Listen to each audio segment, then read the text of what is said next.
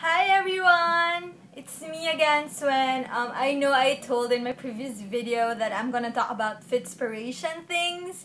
And yes, I did start my Fitspiration goals, but it's not really clear yet what am I gonna do for the for the coming months and weeks. But now I've started okay, for those of you who are, who are planning to do some Fitspiration and all of that, um, I suggest that the very, very easiest thing to do would be um, set your mind that you are really gonna reach your your like ideal weight or what our ideal um, activity or whatever. You have to set your goals first and then actually you don't really need a lot of inspiration because if you really really want it to happen it will happen.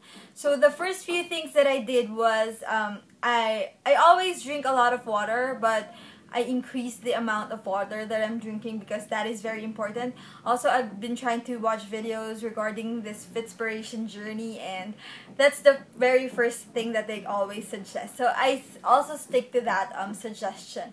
And then the second thing would be um, I started eliminating uh, um, sugary and salty food because I love sugary things and sweet things and everything sweet chocolates and all of that. And also I was addicted to junk food so I tried slowly eliminating those food in my diet.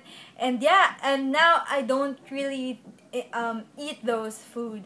And the third one would be um, is trying to if you're a rice eater like me because I'm a Filipina or a Filipino I'm used to eating rice during um, um, uh, main meals, um, I I tried um, diminishing the amount of it, and then eventually I eliminated it from my diet because I really don't eat a lot of rice per day. I usually have a cup per day before, but now I don't eat rice anymore. So for those of you who love rice, you can substitute it by um, eating um, instead of rice, um, eating potatoes and all of that, or corn or another source of carbohydrate carbohydrates but not a lot.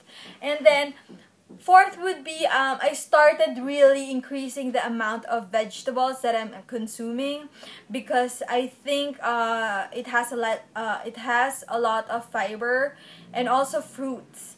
I added that on my diet. That would be the fifth I think is it fifth already? I'm not so sure. And then the last one would be um I have um um small exercise and then I try to make my sleep 8 hours at least if not 7 hours at least because um sleep is very important and rest. Also if you're not if you're really just wanna lose the weight or the, the fat that you have start doing um, cardio exercises like just running jumping rope just like for a couple of minutes like 10 minutes first if you're really not into exercise and then 15 minutes and then 30 minutes every day would be perfect. I mean you don't really have to exercise a lot if you're already um, eating clean food like um, like vegetables fruits and water and less on the on the cooked meals so yeah, that's my Fitspiration journey and I'm going to post a lot more um more that are more that are detailed. This is already 4 minutes and I'll see you again next video. Bye!